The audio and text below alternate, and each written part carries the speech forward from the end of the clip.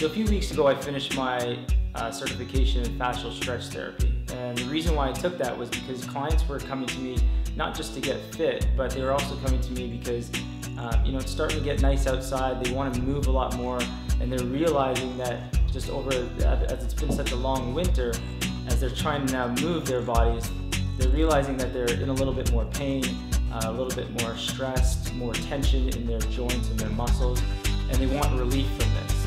So that was the biggest reason why I took fascial stretch therapy, to provide a solution for them to um, solve all these problems. I'm training with Derek now for over two and a half years, and I'm getting a lot stronger as a result.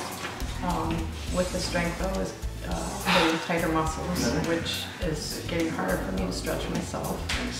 Um, so recently Derek's been doing stretch therapy with us after a workout session, which really helps really gets deep into the muscles.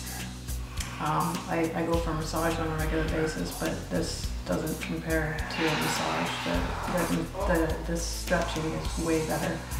It really gets deep into the, to the muscles. And for me especially, I was in a car accident five years ago and I have bulging discs in my back and I cannot stretch my back well enough. But Derek hits all those spots and it feels amazing.